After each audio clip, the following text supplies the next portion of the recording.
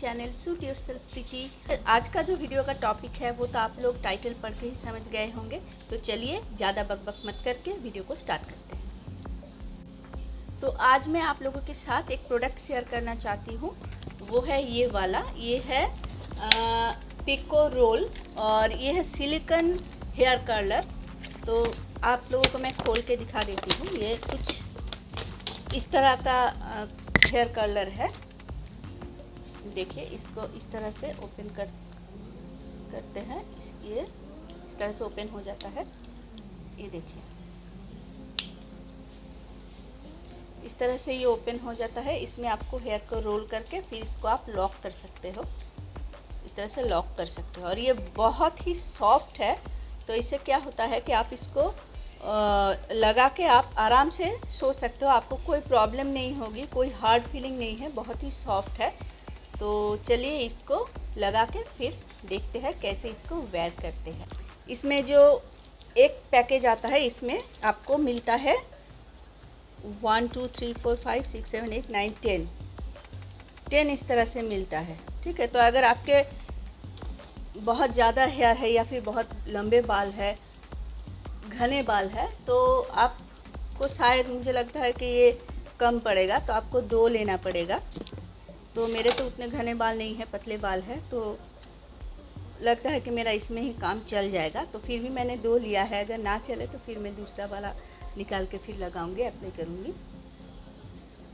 तो आप कैसा कर्ल चाहते हो, उसके हिसाब से आपको ये छोटे छोटे स्ट्रैंड हेयर स्ट्रैंड लेके इसको इस तरह से रोल करके इसको लॉक कर देना पड़, होगा। और अगर आप अपने हेयर को थोड़ा सा डैम्प करके फिर इसको वेयर करोगे तो कर्ल बहुत देर तक रहता है। और यहाँ पे मैं एक एक को खोल खोल के फिर से इसको अप्लाई कर रही हूँ। आप लोग ऐसा मत कीजिएगा। आप पहले जितना आपको लगता है कि इतना सारा लगेगा टेन या फिफ्टीन या ट्वेंटी जितना लगेगा, उसको पहले से ही ओपन करके रखना। फिर फिर इसको लगाना स्टार्ट करना तो इससे जल्दी जल्दी हो जाएगा। और मैं भी इसको पहली बार ट्राई कर रही हूँ। मैं इससे पहले ट्राई नहीं किया है इसको। पहली बार इसको वीडियो के सामने ही यूज़ कर रही हूँ।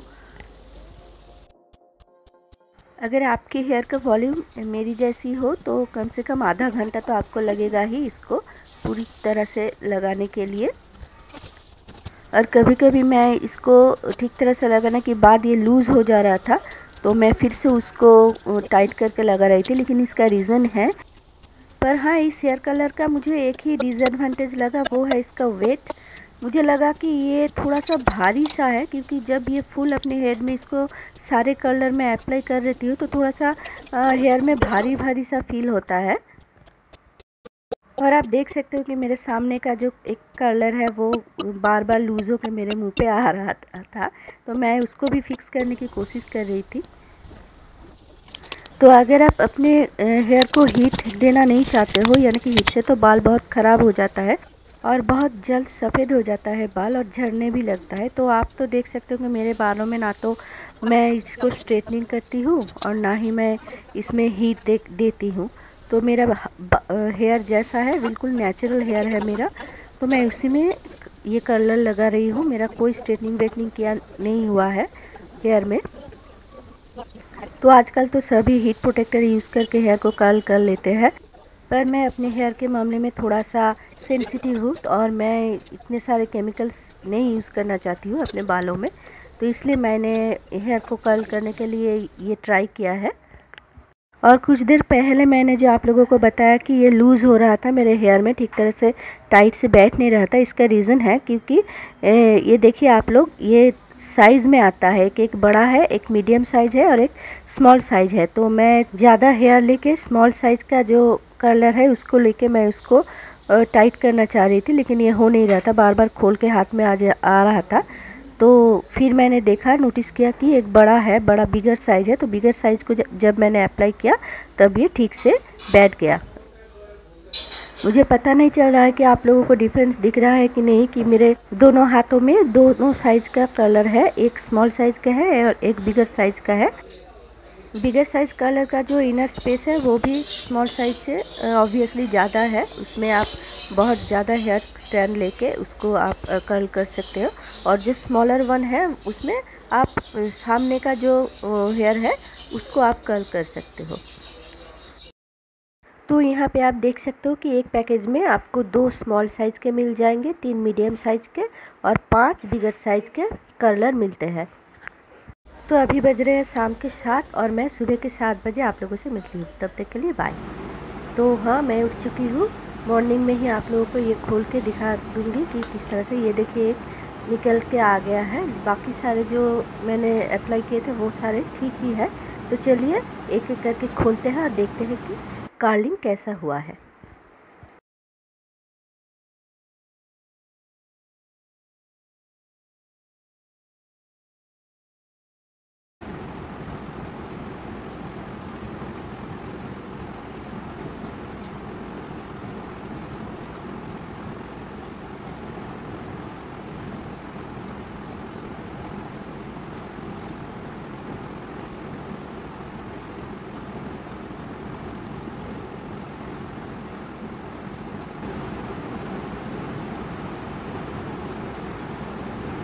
तो अभी आप देख सकते हो कि कर्ल्स कुछ इस तरह से आया है और मुझे तो ये बहुत ही अच्छा लगा, ये हेयर कलर्स तो अगर आप लोगों को भी अच्छा लगा हो तो प्लीज़ कमेंट बॉक्स में कमेंट करके ज़रूर बताना।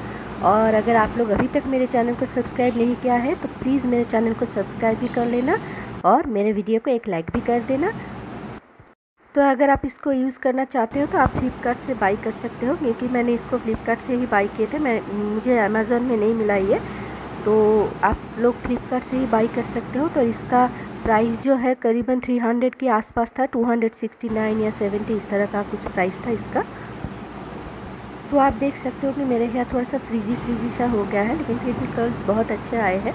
तो अगर आप अपने हेयर को थोड़ा सा शैम्पू करके ठीक ठाक अगर आपके हेयर फ्रीजी ना हो तो ये कर्ल्स और और भी बहुत ज़्यादा खिल के आएगी। सो so, फिर से मैं बोल रही हूँ कि वीडियो को एक लाइक कर देना और मेरे चैनल को सब्सक्राइब कर देना और कमेंट भी कर देना। तो बाय चलती हूँ।